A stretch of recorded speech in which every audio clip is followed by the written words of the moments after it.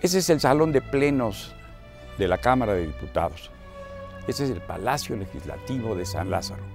Escenario de ardorosas discusiones y de terribles bataolas. ¿Cómo olvidar aquí la emoción que se transmitió, que dio el presidente de la República, José López Portillo, en aquel informe de 1982 en que electrizó al país anunciando la nacionalización de la banca. Desde su jefe de prensa, que era don Francisco Galindo Ochoa, hasta el presidente electo, ya don Miguel de la Madrid Hurtado, quedaron estremecidos porque ese secreto, esa decisión que se conservó en gran hermetismo entre el presidente José López Portillo, su hijo José Ramón, eh, Carlos Tello Macías, que fue director efímero, apenas 100 días en Banco de México, puso a este país en una terrible crisis.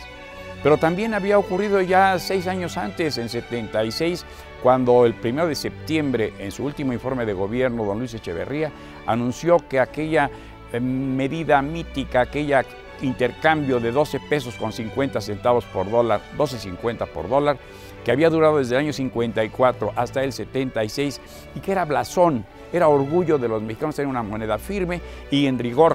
Cada informe que se rendía aquí estaba esperando todo el país el anuncio de la paridad peso-dólar.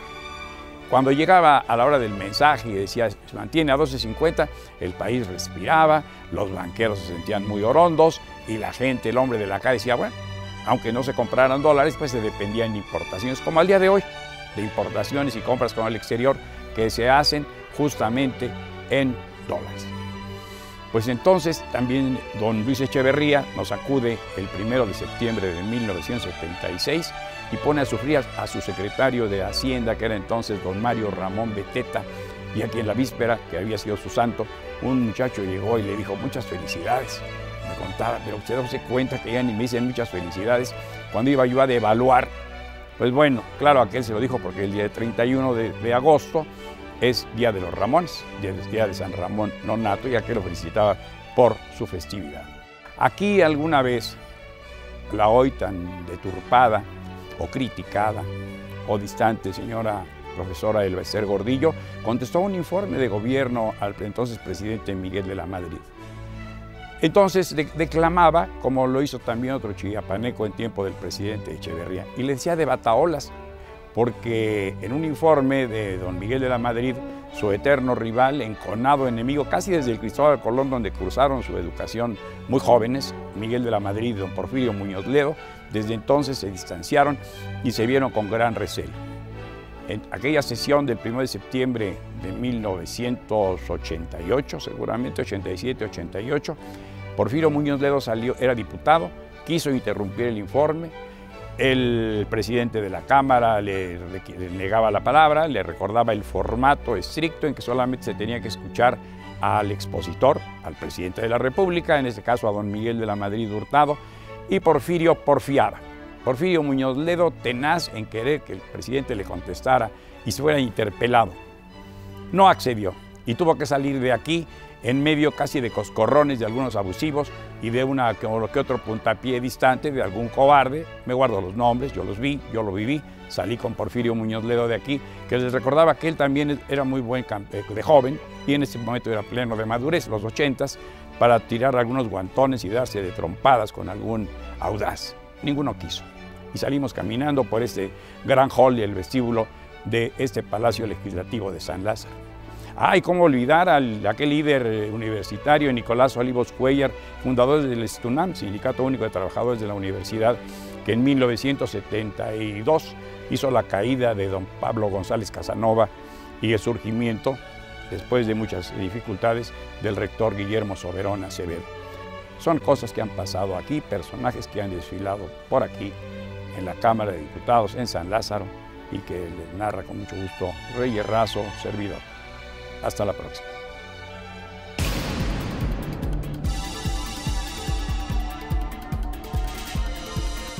Bien, pues eh, les había yo comentado que en este casi ya fin de la emisión, yo les quiero hacer la misma pregunta a todos. Hemos escuchado a lo largo de sus intervenciones eh, todo lo que no les parece, lo que le quitarían a esta iniciativa. Ahora yo les pregunto, empezando por el señor diputado Carlos Angulo.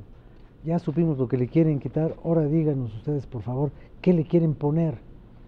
Indudable. Em, hay que ponerle a esta reforma una creatividad para impulsar las actividades productivas, teniendo un impuesto sobre la renta justo, no como lo que se hizo quitando deducciones que hace que el pago del impuesto sobre la renta suba. Esa es una forma escondida de aumentar generalizadamente el impuesto sobre la renta. Las deducciones justas que toda empresa a nivel mundial tiene, aceptarlas en México y no quitarlas como se le han quitado.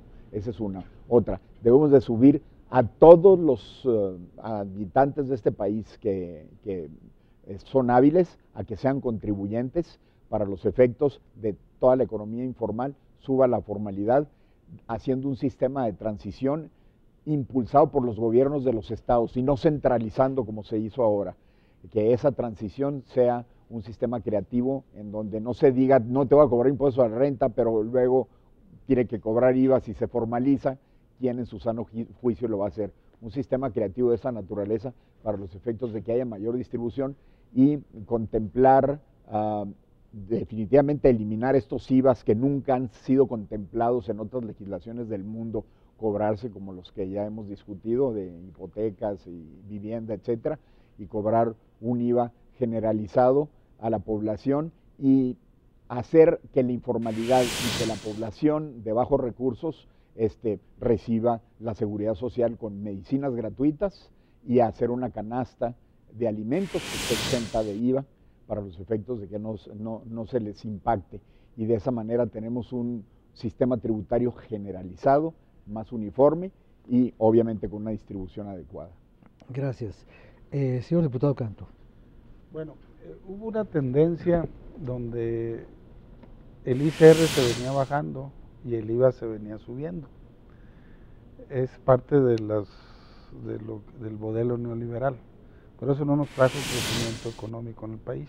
Tuvimos una economía estancada por 30 años, crecimos en promedio casi lo que creció la población.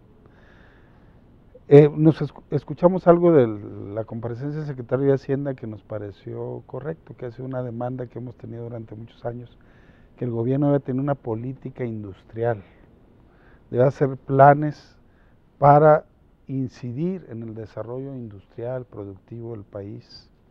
Y eso creo que es muy importante, porque si lo dejamos a la libre fuerza del mercado, a que de manera espontánea los empresarios, si no les cobramos impuestos, van a reinvertir.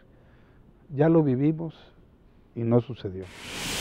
necesitamos una política industrial con un programa claro, objetivos claros, que promuevan el desarrollo productivo del país. Muchas gracias. Diputado Fernando Cuellar. Tres cosas muy rápidas. La primera, tenemos que cambiar la forma de planear eh, en este país. En este país hacemos las cosas al revés Primero vemos cuántos recursos tenemos y después vemos qué hacemos.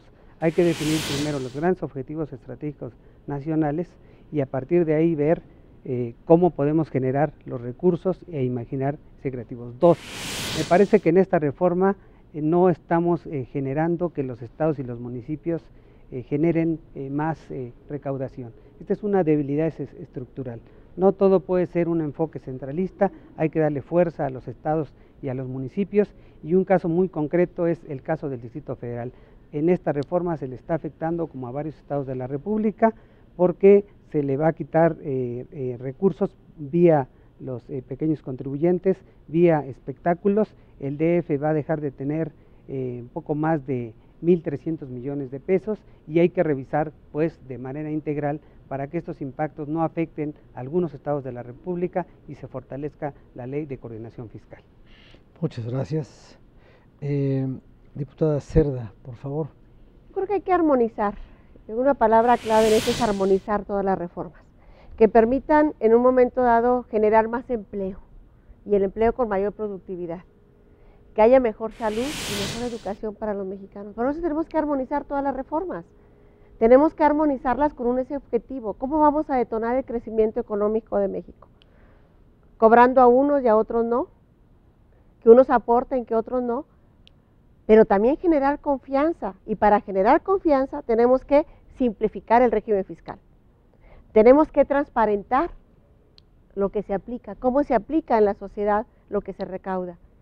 Y tercero, abatir la corrupción. Es un tema que no hemos querido abordar, pero hay mucha corrupción, muchos intermediarios en la cuestión hacendaria y fiscal.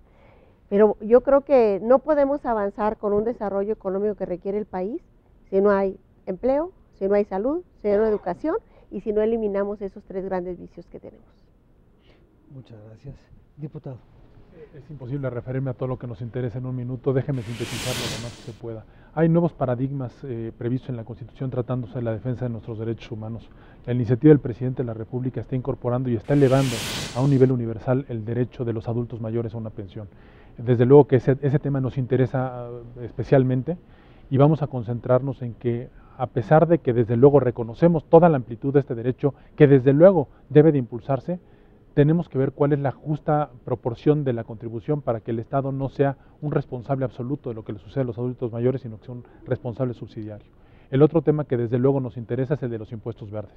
No queremos que por una incorrecta, por, por pequeña que sea, redacción de la norma, pueda darse lugar a una, indebida interpretación de la misma para efectos de la recaudación que debe de ser y si queremos que la reforma en materia fiscal impacte positivamente en contra de las, de las empresas más contaminantes del país y que, y, que, y que, las contribuciones que se obtengan y que se recauden por ese, por ese concepto se utilicen para fines que sean verdes y que, y que nos puedan llevar a mantener de mucho mejor manera el medio ambiente. Y por último, Dentro de, dentro de, la ley del IEPS se está incorporando ya una tasación nueva tratándose de bebidas ah, ah, ah, endulzadas, eh, desde luego que refrescos particularmente, pero aparentemente viene eh, grabando especialmente el azúcar. Y tan grave puede ser el consumo de azúcar como la, como, alta, como la alta fructuosa. No queremos ni que la gente se muera de diabetes, pero tampoco de infartos por hígado graso. Entonces hay que ver de qué manera incorporamos también una mejor redacción a la, a la norma que permita sí este, utilizar la recaudación para, para, informar a la gente cuál es la, la repercusión de estar bebiendo bebidas con, tanto, con tantos edulcorantes. Pues muy bien, muchas gracias. Bueno, vamos a detenernos un momento porque después les voy a pedir a ustedes algo pues muy similar a lo que ya acabamos de hacer en esta última, en esta última serie de intervenciones, que sería su conclusión frente a lo que viene ya como inminencia. En qué quizás el público, las personas que nos ven y que nos escuchan, habrán ellos tenido su propia conclusión, pero yo le invito a usted a que compare su conclusión con las conclusiones finales de los señores diputados y de la señora diputada. Permítame tantito.